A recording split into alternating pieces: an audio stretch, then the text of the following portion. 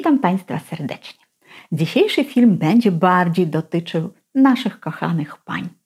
Porozmawiamy o tym, dlaczego po 50 zmienia się sylwetka i w różnych miejscach, a szczególnie na brzuchu, zaczyna odkładać się tłuszcz. Że w młodości człowiek mógł jeść kiedy chciał, co chciał, ile chciał i w ogóle nie tył. A z wiekiem trzyma się diety, odżywia się prawidłowo, a coraz trudniej jest utrzymać wagę albo zrzucić zbędne kilogramy, jeżeli gdzieś trochę się przesadziło z jakimś jedzeniem i ten brzuszek już się pojawił. I jednym z powodów, dlaczego po 50 brzuch zaczyna rosnąć, to oczywiście są hormony. Estrogeny w organizmie kobiety pełnią nie tylko rolę rozrodczą albo odpowiadają za wykształcenie cech płciowych i za libido u kobiet, odpowiadają estrogeny za wiele różnych funkcji, innymi za ciśnienie krwi, za regulację wodno-elektrolitową, za to, jaki mamy nastrój, wpływają na to, jak wygląda skóra, jak się produkuje kolagen, jak wyglądają włosy, paznokcie itd. Tak I jeżeli z wiekiem, kiedy wchodzimy w ten okres taki okołomenopauzalny, estrogenów zaczyna brakować, to nasz organizm zaczyna łączać takie mechanizmy, które chcą pozyskać gdzieś w innych miejscach ten estrogen, no bo jeżeli jest tak ważny i dla układu nerwowego, i dla krążenia, a gdzie może go pozyskać? Sprawa w tym, że estrogeny produkują się, jasna sprawa, przede wszystkim jajnikami, ale też nadnercza produkują estrogeny oraz tkanka tłuszczowa. I jeżeli nadnercza już zaprzestają tak intensywnie pracować, a tym bardziej, jeżeli są wyczerpane stresem, a jajniki niestety z wiekiem już no myślą, że już koniec z tą funkcją rozrodczą i też te hormony no drastycznie spadają. No to co trzeba zrobić? Właśnie poszukać w tkance tłuszczowej tych hormonów potrzebnych i organizm zaczyna nam tą tkankę tłuszczową gromadzić. No najprościej to jest w okolicy brzucha. I teraz na co powinniśmy zwrócić uwagę? No z jednej strony nie panikować, że troszeczkę ta waga normalnie wzrasta. Także można powiedzieć, że zwiększenie nieznaczne wagi to jest norma. Natomiast co to znaczy nieznaczne, żeby też, kiedy jest duża nadwaga, nie mówić, że a to moje hormony i to już jest w porządku. Wiecie Państwo, jak się wylicza ta waga prawidłowa, tylko w taki bardzo prosty sposób, bez różnych koeficjentów, ciężkich podliczeń, to w ogóle nie jest potrzebne. Tak normalnie. W wieku od 21 do 45 lat od wzrostu kobiety trzeba odjąć 110 cm. I tak przykładowo, jeżeli dziewczyna ma 165 cm wzrostu, to jej optymalna waga wynosi 55 kg. Oczywiście plus minus 5 kg. Po 45 roku życia wzrost minus 100 cm. Przy tym samym wzroście optymalna waga jest już 65 kg plus minus 5.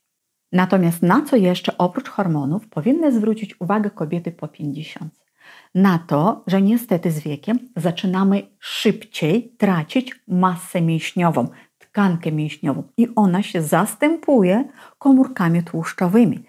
A co tu jest y, istotne do zrozumienia, że nasze komórki, wszystkie w naszym ciele, one zużywają energię, one zużywają kalorie, między innymi po to też jemy. Dostarczamy różnych składników odżywczych, ale dostarczamy też kalorie, które są energią dla naszego życia.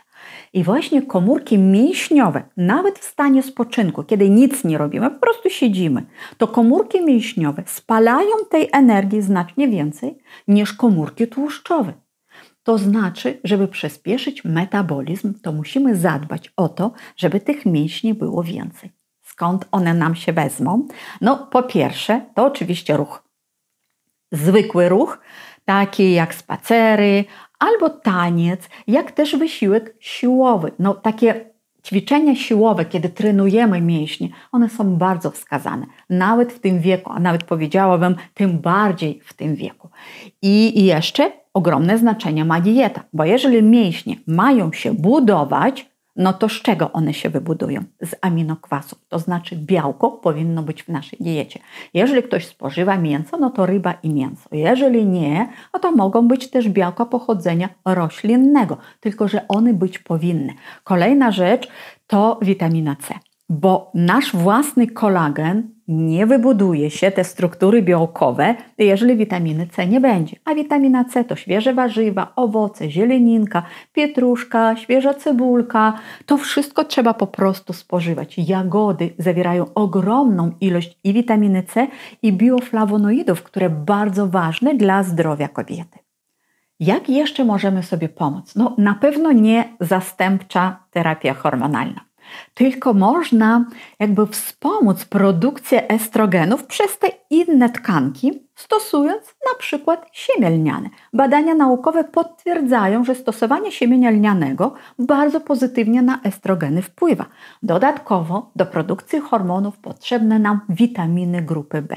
Gdzie je znajdziemy? Na przykład płatki owsiane albo płatki jęczmienne. Można też napary z jęczmienia robić. Ja jeszcze zrobię taki film na kanale, bo to jeszcze niesamowity detoks dodatkowo. Ale też jeżeli chodzi o witaminy grupy B, to te witaminy znajdziemy w kiszonkach. Tam i witamina C jest. I ogólnie, no to jest przecież i prebiotyk, i probiotyczne bakterie tam się znajdą. Także kiszonki u kobiet po 45 roku być powinny obowiązkowo w diecie. One dla wszystkich są wskazane. No ale nam, paniom, no szczególnie przecież chcemy, żeby i włosy, i paznokcie, i skóra ładnie wyglądały. A to jest konieczne, żeby i witaminy dostarczyć, i żeby jelita nasze sprawnie pracowały. Inne bardzo ważne składniki dla kobiet to jest tak: witamina D, witamina E, Omega-3, pamiętacie o omedze 3 bardzo dużo mówiliśmy, ona ogólnie działa na wszystkie e, gruczoły dokrewne, bardzo dobrze usuwa stany zapalne, jakby utrzymuje tą równowagę w naszym organizmie. To jest bardzo istotne, ale też cynk i selen. I zobaczcie, nawet z tych składników, które już wymieniłam, może zauważyliście, że one są też bardzo ważne dla tarczycy.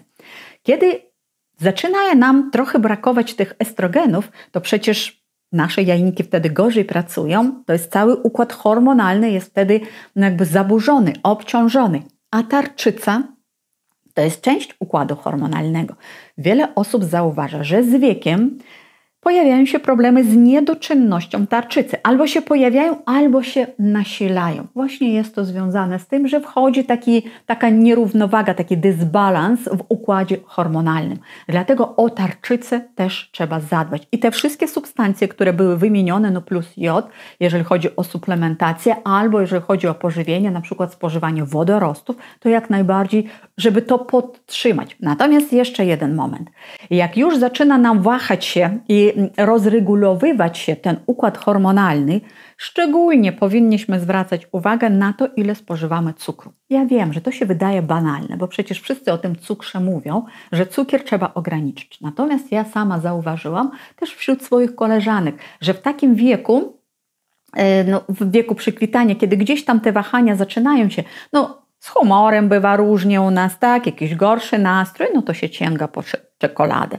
Albo gdzieś tam, no nie wiem, no takie, takie nastroje rzeczywiście, że masz takie ciągoty na coś słodkiego, no to człowiek na to, te niezdrowe słodycze, zamiast jakiejś jagody, jakiś owoc, no to sięga właśnie po bułki, batoniki i tak dalej. Dlaczego to w tym wieku jest szczególnie niebezpieczne?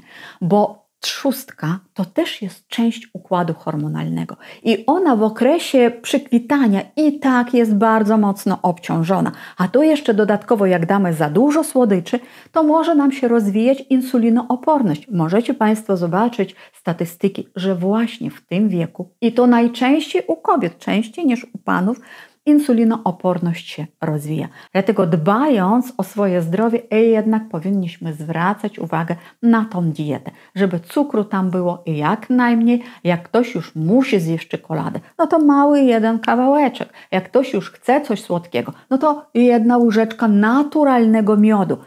Jedna łyżeczka, nie jeden słoiczek. Także tu jest wszystko bardzo istotne. Ale ja myślę, że jeżeli dostosować się do tych wszystkich wskazówek dbać o dietę, dbać o ruch. Jeszcze jedna istotna rzecz, dbać o sen, bo przecież jeżeli chodzi o układ hormonalny, on regeneruje się, odbudowuje się podczas snu. Bardzo ważne jest, żeby się wysypiać i żeby chodzić spać przed 23. I ja myślę, że wtedy i po 50, i po 60, i po 70 będziemy mogli utrzymać odpowiednią, zgrabną sylwetkę, dobry humor, dobrze się czuć no i dobrze wyglądać. I tego Wam, moje kochane Panie, życzę.